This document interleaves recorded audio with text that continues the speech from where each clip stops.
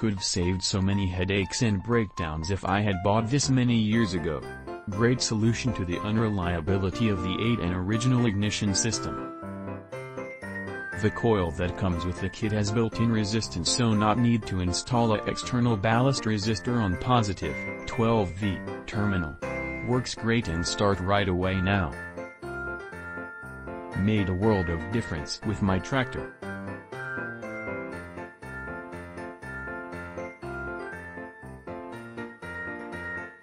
Overall a fantastic product with an unbelievable price.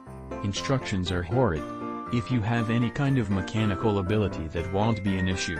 Only thing is the cover that replaces the square coil is not quite held on square but it works. My tractor starts runs and idles better than it ever has. Ford 9N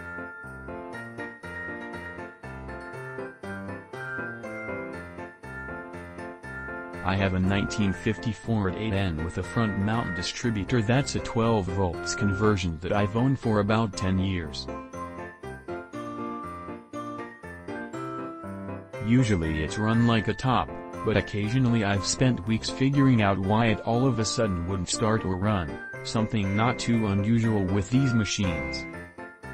When there is a problem, it's usually spark related.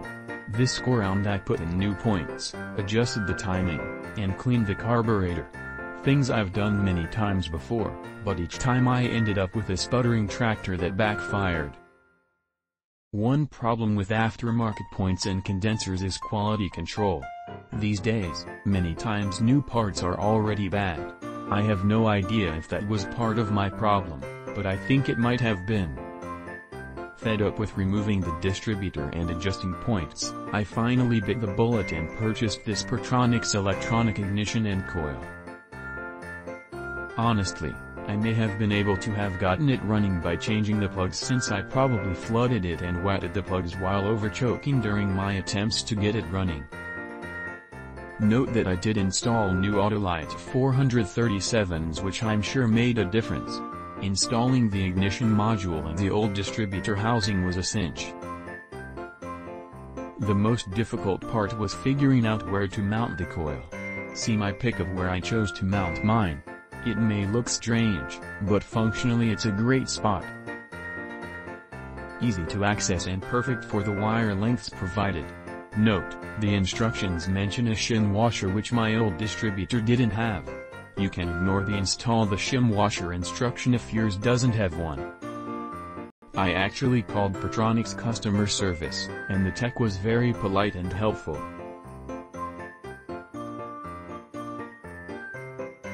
There were some visible cracks between the old distributor housing and the wafer board top plate after installation, so I filled in the small cracks with clear silicone to prevent moisture intrusion. My tractor, which hadn't run in 8 weeks, started up on the first press of the starter switch and purred. Literally. I am able to place the throttle to the lowest setting, something I was never able to do before, and the tractor idles great. This is likely due to the much hotter sparks from the Pertronix coil which throws a 40 kV spark compared to my old Squarekin 12 volt coil that was producing something like 17 kV. Also, no choking is required when starting, so no more flooding. I should have installed this module the first time I ever had spark issues. So glad I installed this and bet I won't have any starting or running issues for years. This upgrade is easy to do and will save me hours of future maintenance. A+. Plus. Great pit, easy to install.